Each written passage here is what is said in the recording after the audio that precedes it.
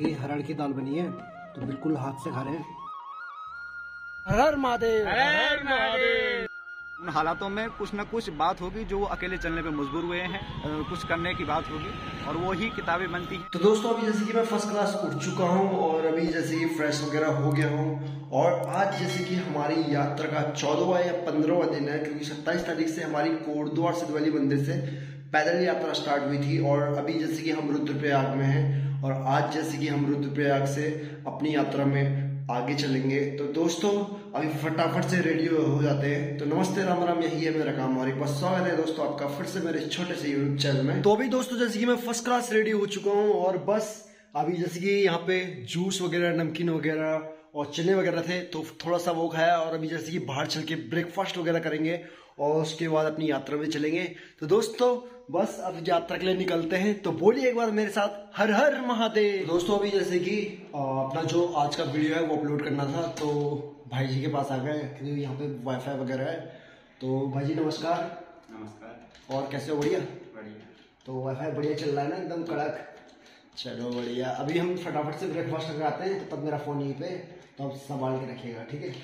ठीक है तो थोड़ी देर में मिलते हैं दोस्तों, अभी फटाफट से ब्रेकफास्ट कर लेते हैं, तब तक यहाँ पे अपना वीडियो अपलोड होते रहेगा तो मिलते हैं थोड़ी देर में। तो दोस्तों, अभी जैसे कि ब्रेकफास्ट वगैरह करके हम आ चुके हैं, और जैसे कि मैंने अपना फ़ोन भी ले लिया, क्योंकि वीडियो अपलोड हो रहा था, और वीडियो जो मेरे व्लॉग है, रोज़ सुबह 10 बजे से साढ़े दस के बीच के आसपास में मतलब व्लॉग डल जाता है तो आप रोज़ मेरे व्लॉग देख सकते हो और दोस्तों, जैसे कि अभी मैंने अपना बैग वगैरह ले लिया है और अब जैसे कि यात्रा में चलने का टाइम आ गया है और धूप भी जैसे कि रोज की तरह अभी भी जैसे कि भयंकर हो रही है। शाम को तो जैसे कि मौसम बिल्कुल बढ़िया हो जाता- हो आराम से मतलब फ़र्स्ट क्लास बादल वगैरह लग जाते हैं तो ठंडा वाला मौसम हो जाता है।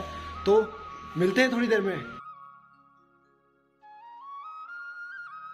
अभी जैसे कि मैं पैदल चल रहा था और जैसे कि भाई मिल गए मुझे रास्ते में तो भाई सबसे पहले एक बार बोलिए हर हर महादेव। हर हर महादेव जय श्री कृष्ण। और आपका शुभ नाम? मेरा अंकित भट्ट है और और जैसे कि मेरा नाम भी अंकित धूलिया है पर मैं धूलिया हूँ ठीक है? और जैसे कि भाई रास्ते में मिले और भाई ने पूछा कि कहाँ से आ रहे हो कहाँ जा रहे हो तो भैया को मैंने अपनी यात्रा के बारे में बताया।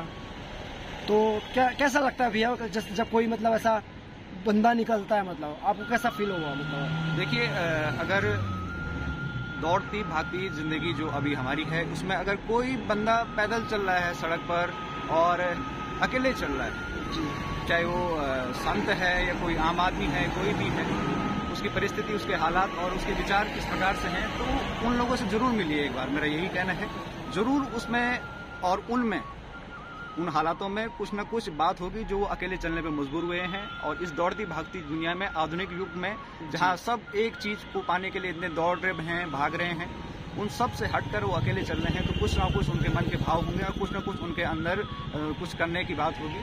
और वही किताबें बनती हैं वही शायरियाँ बनती हैं और वही नए आयाम स्थापित करते हैं तो ऐसे लोगों से ज़रूर मिलिए। जी काफ़ी अच्छा लगा आपसे बात करके।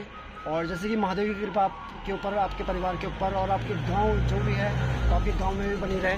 तो एक बार फिर से बोलिए हर हर महादेव। हर हर महादेव। कि मैं टर्नल के अंदर से जा रहा हूँ और जैसे कि देखो रुद्रप्रयाग में टर्नल बना रखा है बाईपास के लिए जाने के लिए। और ऐसी टर्मिनल मतलब बद्रीनाथ में भी बन रखे हैं और बद्रीनाथ में ऐसे टर्मिनल बनने के बाद क्या हाल हो गए आप लोगों को पता है। तो ऐसे ही कई टर्मिनल मतलब इधर भी बन रहे हैं।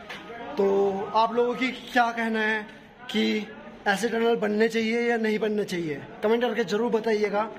और उत्तराखंड के विकास के लिए उत्तराखंड के भविष्य के लिए ये सही है या नहीं है वो भी बताइएगा। तो कमेंट ज़रूर कीजिएगा कि तिलवाड़ा रास्ता सिर्फ़ एक किलोमीटर रह गया है और जैसे कि कोटद्वार से भैया लोग यहाँ पे अभी मिले और भैया लोगों ने जैसे कि आ, पूछा मुझसे कि भैया थपा भैया कहाँ पे तो जैसे कि आगे पीछे और भैया लोगों ने मुझे पहचान लिया। बोला कि आप धुलिया जी हो तो और भैया लोगों ने जैसे कि मेरे को अभी पीने के लिए कुछ दिया है और आप कहाँ से आ रहे हो भैया? पहले तो अपना नाम बताओ राजकुमार। हरीश। अच्छा कहाँ से आ रहे हो? गुप्ता सिंह गुप्ता से। सप्लाई गए ना हमारे? अच्छा अच्छा। हम तो इंतज़ार ही कर रहे थे मैंने कहा मिलेंगे मिलेंगे। हम मैं काफ़ी देर से बोल भी रहा था इनको। और जैसे कि भैया बोल भी रहे थे कि अभी गाड़ी में बैठ के थोड़ा सा चल लो पर जैसे कि पैदल यात्रा है तो शिद्दत से करनी है। और जब इतना पैदल आ गए तो पूरी हर हर महादेव। दोस्तों अभी जैसे कि कोटद्वार से भैया लोग मिले थे और रास्ते में उनसे मिलकर काफ़ी अच्छा लगा। उन्होंने कोटद्वार का पानी भी पिलाया काफ़ी हँसी मज़ाक भी हुआ। और जैसे कि भैया लोगों ने नमकीन बिस्किट और रियल जूस भी दिया है कि आप लोग रास्ते में पी लेना जहाँ पे भी रेस्ट करोगे वहाँ पे पी लेना। तो उनको उनका बहुत बहुत धन्यवाद और महादेव की कृपा उनके ऊपर बनी रहे। और दोस्तों अब जैसे कि जहाँ हमें जाना था वहाँ बस एक किलोमीटर ही रह गया है। पहुँच के मैं आपको गाँव भी दिखाता हूँ। और उसके बाद जैसे कि रेस्ट करेंगे आज जैसे कि हम ज़्यादा तो नहीं चले पर आठ नौ किलोमीटर तो चले ही हैं। और जैसे कि धूप जो है यार एक तो धूप। अब जैसे कि आ, हम अगस्त मुनि की साइड जाते रहेंगे जैसे जैसे केदारनाथ जी की तरफ़ जाते रहेंगे तो वैसे ही ठंडा ठंडा मौसम होता रहेगा। और अभी जैसे कि धूप है पर थोड़ी हल्की हल्की ठंडी हवा चल रही है।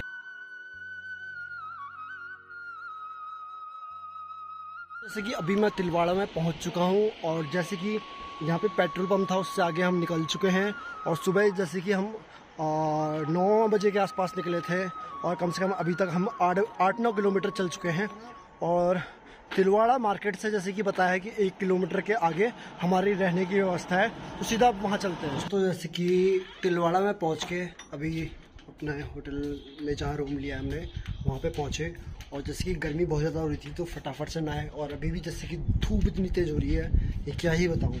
तो अभी जैसे कि यहीं पे इनका रेस्टोरेंट भी है तो खाना वगैरह यहीं पे तो अभी फटाफट से चलते हैं और खाना वगैरह खाएँगे। और उसके बाद अगर शाम को कहीं घूमने जाएँगे तो वो आपको दिखाएँगे। तो दोस्तों, फटाफट से खाना खा लेते हैं। और क्योंकि भूख भी ज़्यादा लग रही है। तो दोस्तों, अभी जैसे कि अपना खाना आ चुका है और फटाफट से खाएँगे। और जैसे कि हरड़ की दाल बनी है है काफ़ी दिनों से जैसे कि मिक्स दाल खा रहे थे तो आज हरड़ की दाल मिल गई तो मज़ा ही आ जाएगा और खाना स्टार्ट करते हैं अब।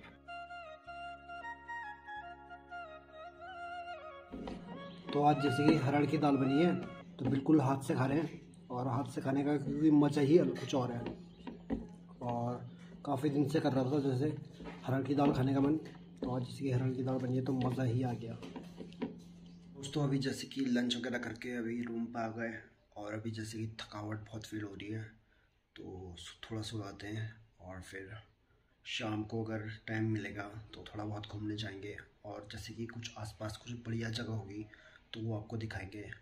और जैसे कि केदारनाथ यात्रा जो मेरी शुरू हुई थी, वो सत्ताईस मार्च को स्टार्ट हुई थी और आज जैसे कि हमें पंद्रह दिन हो चुके हैं पूरे और ये यात्रा मैंने कोटद्वार सिद्धबली मंदिर से स्टार्ट करी थी और बिल्कुल पैदल यात्रा है, जो कि मैं बिल्कुल शिद्दत से कर रहा हूँ।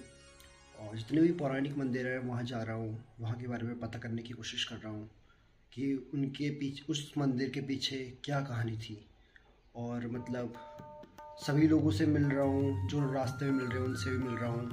काफ़ी लोग वीडियो बना रहे हैं। मेरी केदारनाथ यात्रा करने का मेन वो था कि मैं अपनी पैदल, पूरी पैदल यात्रा अपने यूट्यूब के ज़रिए दिखाऊँ लोगों को और जितने भी मतलब रास्ते में पौराणिक मंदिर होते हैं, वो भी लोगों को दिखाऊँ। और जितने भी रास्ते में लोग मिल रहे हैं, वो भी मैं आप लोगों को दिखाऊँ। और कैसे कैसे हम जा रहे हैं कैसी कैसी मतलब हमें मुश्किलें हो रही हैं चलने में, और जैसे कि मेरे पैर में मतलब बहुत ही मोटे मोटे छल हो गए हैं तो ये सब मैंने दिखाया। तो बस आप लोगों को साथ और प्यार चाहिए।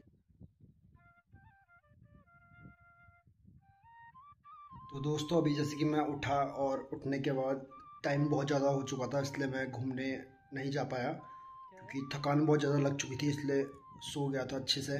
और अभी जैसे कि उठ के फिर खाने का टाइम भी हो गया था तो इसलिए फटाफट से खाना वगैरह खाया।